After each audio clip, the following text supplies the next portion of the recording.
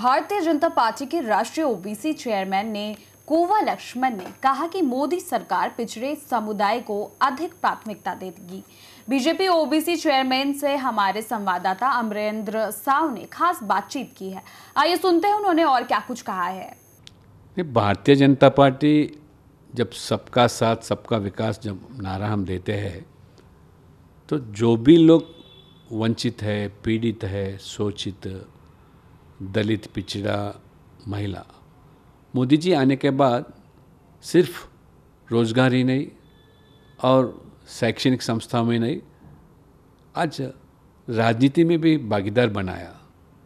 क्योंकि आंध्र प्रदेश जो राज्य बना, तब से लेकर आज तक कांग्रेस पार्टी तो लगभग 40 साल तो सत्ता में था आंध्र प्रदेश में और 10 साल से टीआरएस सरकार में है।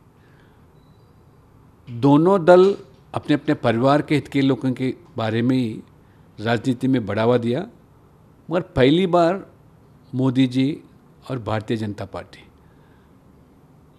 इस वर्गों को शासन में हिस्सेदार बनाना, केंद्र में सत्ताईस ओबीसी समाज के लोगों को मंत्री बनाकर उनका मान, सम्मान, गौरव बढ़ाया। बारह अनुसूची, आठ अनुसूचित जनजाति ग्यारह महिला और पाँच माइनॉरिटी के लोग। सत्तर प्रतिशत आज पूरे मोदी जी के आज सरकार में, गवर्नमेंट में आज S C S T O B C महिला जुड़ के हैं। इसलिए आज पहली बार सिर्फ़ तेलंगाना में ही नहीं, परसों जो हमारे गृहमंत्री घोषित किया, अमित शाह जी ने, तेलंगाना में अगर हम सत्ता में आए तो बीसी को सीएम बनाएँगे। मैं मोदी जी को, अमित शाह जी को और राष्ट्रीय अध्यक्ष नड्डा जी को भी धन्यवाद अर्पित करता हूँ। क्योंकि पार्टी के इतिहास में पहली बार एक जाति का प्रत्याशी को घोषित किया। कई राज्यों में तो उम्मीदवार के नाम पर घोषित किया, मगर पहली बार बैकवर्ड कैस्ट को हम देंगे, ये सीएम घोषित करना और भारतीय जनता पार्टी इतिहास में भी पहली बार है, सिर्फ़ तेलंगाना, आंध्र प्रदेश में नहीं।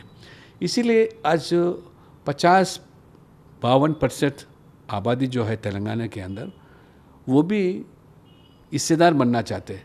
सिर्फ़ हमको रोज़गार देना या पेंशन देना या हमको किसी के नेतृत्व हम काम करना, ये लोगों में बहुत परिवर्तन आया। ओबीसी समाज पूरा अपने हक मांग रहे उनके हक को आज भारतीय जनता पार्टी नज़र में रखते हुए उनको आज गौरव देने का निश्चय किया और ये बड़ी ऐतिहासिक निर्णय है।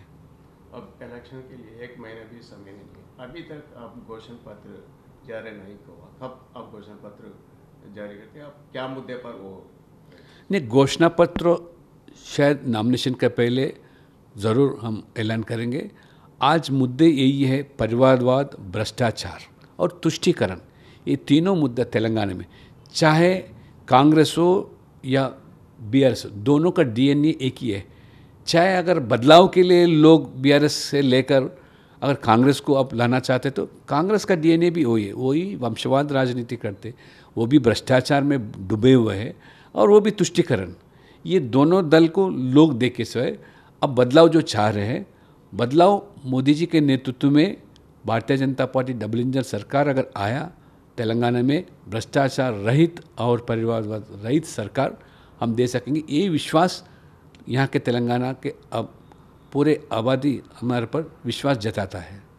अब कांग्रेस पार्टी और बीआरएस पार्टी अपना कैंडिडेट्स को अभी रिलीज़ पर मगर बीजेपी में इतना देर कई को कई को रिलीज़ हो रहे हैं कैंडिडेट्स को रिलीज़ नहीं अभी तो समय है। अभी पहला फ़र्स्ट लिस्ट बावन लोगों को सेकंड लिस्ट में एक उम्मीदवार को घोषित किया। पहले तारीख हमारा केंद्र चुनाव समिति का बैठक है। पहली तारीख को पूरे बाकी भी घोषित करेंगे। हम तो राजनीति सिर्फ़ चुनाव के लिए नहीं करते। 24 घंटे राजनीति में रहते, लोगों के हित में सेवा करने के लिए रहते, हमारा संगठन भी हमेशा सेवा में जुड़े रहते। ये जो कांग्रेस हो बी हो, चुनाव के समय में ही ये नए नए मुद्दे लेकर लोगों के बीच में आने का प्रयास करते। और नया गारंटीज लेके आते। खुद का गारंटी नहीं है कारण आज आज जो कांग्रेस पार्टी गारंटी का घोषित किया, कर्नाटक में हाल देखो, किसान का हाल देखो, महिलाओं का हाल देखो, जो बेरोज़गार है, वहाँ पे भी तीन हज़ार रुपये महीना देने के लिए वो घोषित किया, मगर आज तक एक रुपया नहीं दिए। हिमाचल प्रदेश में भी किसान आज तड़प रहे हैं।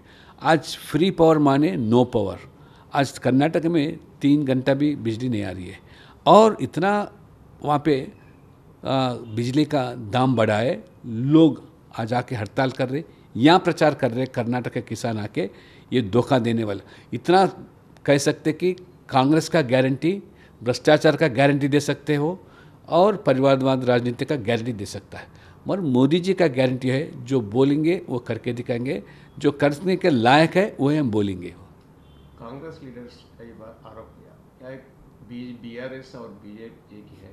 ये दोनों एक ही मुद्दा पर जा रही है, या ऐसा ये आरोप कर रहे क्या है आपका ये बीआरएस और कांग्रेस का साजिश है, क्योंकि आज एंटी इनकम्बेंसी वोट जो है, आज बीआरएस के खिलाफ, उसमें बंटवारा करने के लिए, कांग्रेस को बढ़ावा देने के लिए आज केसीआर प्रयास कर रहा है, क्योंकि पूरे लोग बीजेपी और जुड़े हुए और चाहते हैं कि मोदी जी के नेतृत्व में बीजेपी सरकार बना, बने, क्योंकि कांग्रेस और केसीआर दोनों का डीएनए एक ही है।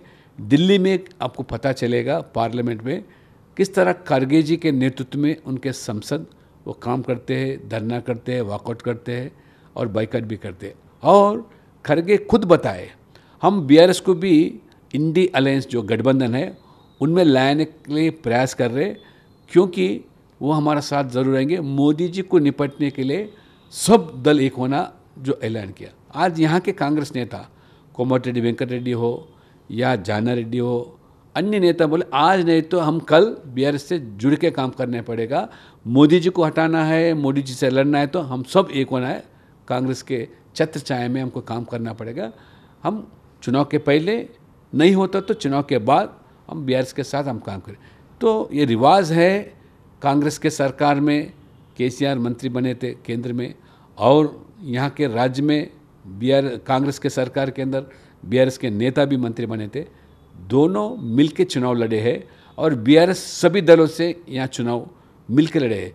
चाहे सीपीआई हो, सीपीएम हो, या कांग्रेस हो और तेलुगु देशम भी हो, सभी के साथ। बीजेपी अकेले आज तक बी से जुड़ा नहीं और जुड़ेंगे भी नहीं, क्योंकि जो आप मजलिस के साथ, जो मज़हब के नाम पर राजनीति करने वाले मजलिस के साथ जब है तो बी के साथ रहने, जाने का सवाल ही नहीं होता और उनका डीएनए अलग है, उनका सिद्धांत भी अलग है। हम तो आज ये भ्रष्टाचार सरकार को उखाड़ के फेंकने के लिए हम तेलंगाना के लोगों के साथ हैं।